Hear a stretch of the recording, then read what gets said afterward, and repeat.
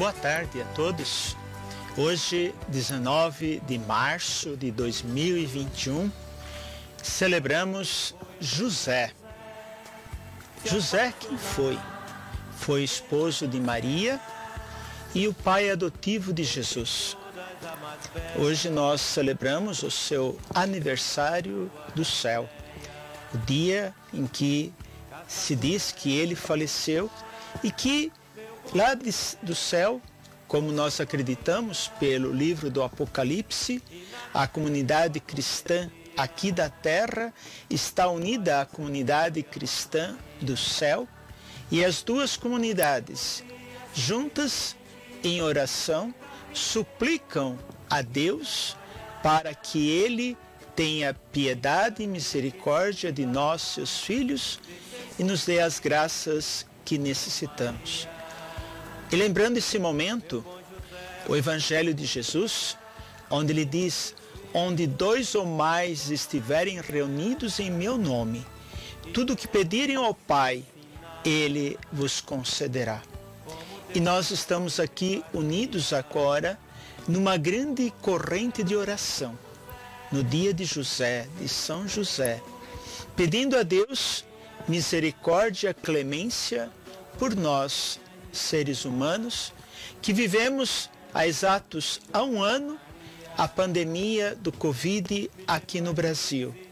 Praticamente um ano todo mundo parado, um ano as famílias não podendo sair, um ano ninguém podendo celebrar, um ano grande parte não podendo trabalhar, um ano mais de 280 mil mortes milhões de pessoas infectadas e agora vemos os nossos hospitais aqui de São Paulo e inclui aqui em Batatais precisando ver quem tem respirador, quem não tem.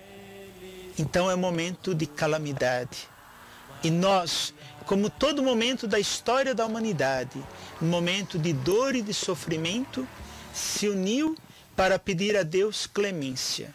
E é o que nós estamos pedindo no dia de hoje a José. E aqui, o que, que Deus e como podemos pedir essa clemência? Vamos hoje fazer esse pedido de clemência de uma forma muito simples, recitando a oração que o Senhor nos ensinou. Como pedir ao Pai? Jesus nos ensinou quando quiser despedir ao Pai alguma coisa, dizei assim: Pai nosso que estais nos céus, santificado seja o vosso nome.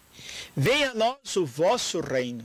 Seja feita a vossa vontade, assim na terra como no céu. O pão nosso de cada dia nos dai hoje. Perdoai nossas ofensas, assim como nós perdoamos a quem nos tem ofendido. E não nos deixeis cair em tentação, mas livrai-nos do mal. Amém. E como somos filhos, nós insistimos. Então vamos recitar, pedindo novamente e clamando ao Pai que nos dê saúde. Pai nosso que estais nos céus, santificado seja o vosso nome. Venha a nós o vosso reino. Seja feita a vossa vontade, assim na terra como no céu. O pão nosso de cada dia nos dai hoje. Perdoai as nossas ofensas, assim como nós perdoamos a quem nos tem ofendido, e não nos deixeis cair em tentação mas livrai-nos do mal. Amém. E como somos filhos insistentes, como Jesus nos ensinou no Evangelho, insistam, Deus, diante da oração de um filho, ele sempre atende. E diante da oração de milhares, ele vai nos atender. Por isso ousamos, Deus, de chamar novamente Pai nosso que estais nos céus, santificado seja o vosso nome. Venha a nós o vosso reino.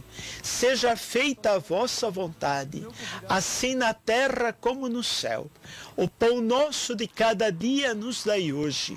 Perdoai as nossas ofensas, assim como nós perdoamos a quem nos tem ofendido, e não nos deixeis cair em tentação, mas livrai-nos do mal. Amém. E isto nós pedimos em nome da Trindade Santa. Por isto que recitamos a oração do Senhor três vezes, para que Deus Pai, Deus Filho e Deus Espírito Santo nos atenda. E como sabemos que Ele nos atenderá, por isso glorificamos essa Trindade Santa, dizendo: Glória ao Pai, ao Filho e ao Espírito Santo, como era no princípio, agora e sempre. Amém. E sabemos também que quando pedimos alguma coisa ao Pai, nós sempre damos uma volta e vamos também pedir à mãe, porque sabemos que ela tem um jeito especial de pedir ao Pai. Então, por isso também, no dia de hoje, essa clemência que estamos pedindo, vamos pedir que a Mãe da Trindade Santa, Maria, leve o nosso pedido e ela, de joelhos diante de Deus, possa dizer: aceita a súplica dos meus filhos, dos teus filhos, que clamam saúde, clamam por dinheiro, clamam por trabalho, clamam por vendas, clamam por uma escola aberta. Por isto, Mãe, atendei-nos. Ave Maria, cheia de graça, o Senhor é convosco. Bendita sois vós entre as mulheres, e bendito é o fruto do vosso ventre, Jesus. Santa Maria, Mãe de Deus, rogai por nós, pecadores, agora e na hora de nossa morte. Amém. E porque nós estamos hoje celebrando José, precisamos também ouvir a palavra de Deus. E a palavra de hoje é do Evangelho de Mateus, capítulo 1. E o texto nos diz: Eis que o anjo do Senhor apareceu em sonho a José e disse: José, filho de Davi, não temas receber Maria por tua mulher, pois o que nela foi gerado vem do Espírito Santo ela dará à luz um filho, e tu chamarás com o nome de Jesus, pois ele salvará o seu povo dos seus pecados. José, ao despertar do sono, agiu conforme o anjo do Senhor lhe pediu e recebeu em sua casa Maria, sua esposa. Que José, que soube acolher Maria, que soube acolher Jesus, que soube viver momentos de tanta turbulência na sua vida, que Ele nos ajude nesse momento, que Ele também escute as nossas preces e atenda junto a Deus Pai. Como eu disse, estamos aqui vivendo o livro do Apocalipse, onde a comunidade da, cristã da terra e a comunidade cristã do céu nos unimos em uma grande prece. Por isso, pedimos a José, como todos os momentos da sua vida, nós sempre vemos ele dormindo. As suas decisões são quando ele dorme. Então vamos colocar debaixo da cabeça de José, que dorme esse pedido, para que com a nossa prece ele acorde e apresente junto a Deus Pai.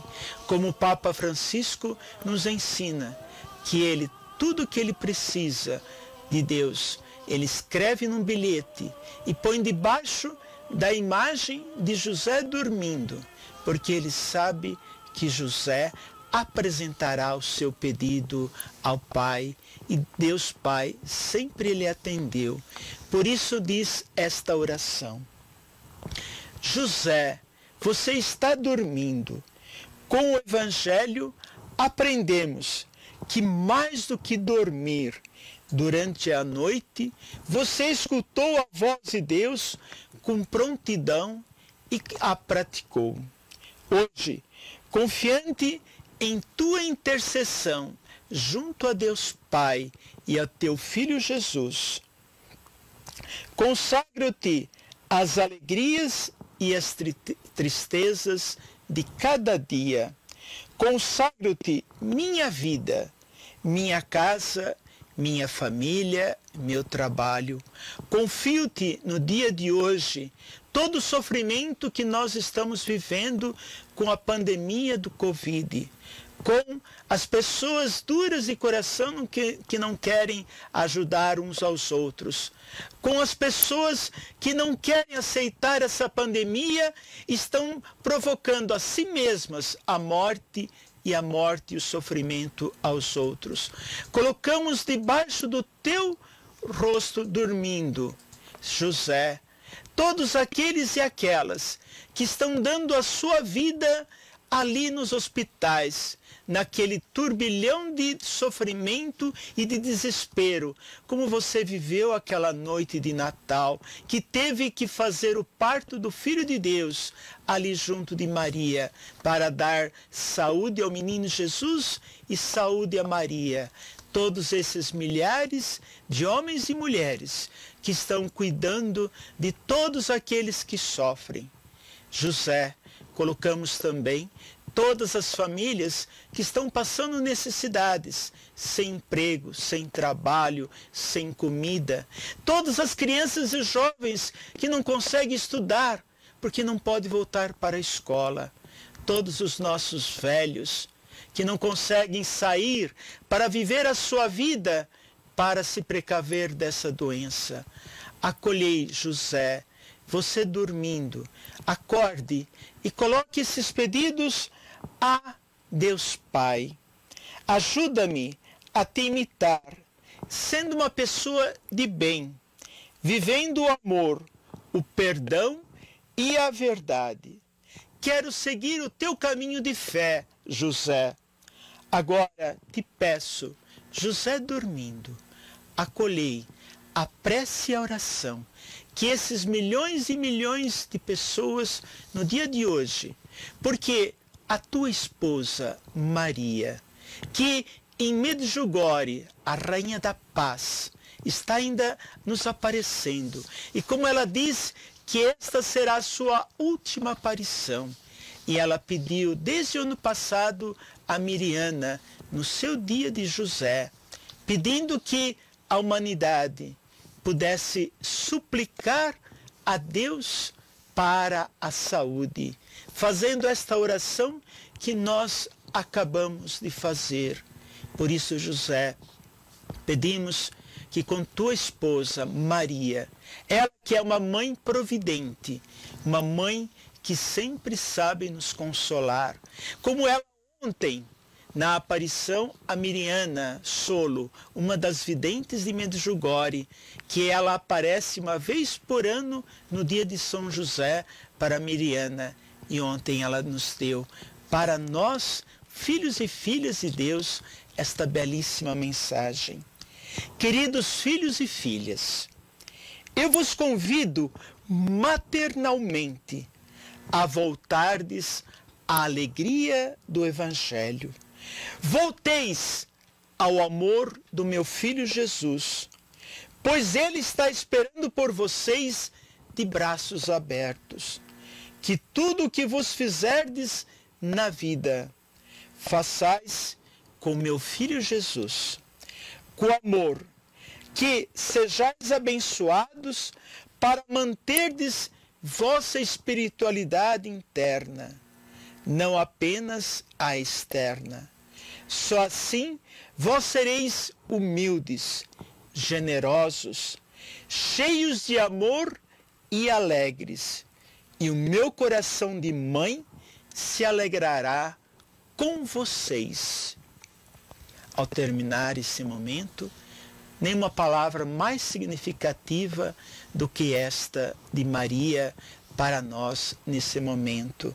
Vejam, ela está pedindo que, como mãe, ela pede que voltemos ao Evangelho do seu Filho, que voltemos ao amor, caridade que seu Filho nos ensinou, porque Ele está nos esperando de braços abertos. Quando ele foi embora, disse: Estarei sempre convosco. Vinde a mim, todos vós que estáis aflitos, e encontrareis refúgio e amparo em mim. Por isso que ele está de braços abertos. Que tudo que vocês fizerem na vida, diz Maria, façais com meu filho. Em Medjugorje, há 40 anos, ela está dizendo: voltem para meu filho. Só assim vocês terão a salvação. Só assim vocês estarão com vida. E olhe, tem muita gente que ainda não está voltando para Jesus e muitos estamos sofrendo por causa disso e tantos estão padecendo as suas vidas. Com amor sejais abençoados. Ela está nos dando a certeza da bênção de Deus. Mantenham a sua vida espiritual, porque ela é a base para passarmos esse momento de dor. Só assim vocês serão humildes. Hoje aqui nós estamos precisando da humildade. Somente quando tivermos humildade vamos vencer essa pandemia. Temos que ser generosos, porque só quando soubermos dividir os três pães e os cinco peixes que tivermos com outro, nós vamos ser felizes, cheios de amor e alegria. O que falta na expressão de todos nós, hoje está faltando isto, este amor no coração e alegria da vida, da esperança. E ela conclui com a coisa mais bonita: e meu coração se alegrará com vocês. É sinal de esperança que tudo isso vai passar logo, porque ela diz: o meu coração triunfará. Que Deus esteja conosco, nos abençoe e nos guarde. Que a Mãe Maria cubra-nos com teu manto protetor. Que José, como protegeu a família de Nazaré, proteja a todas as nossas famílias. Amém. carpinteiro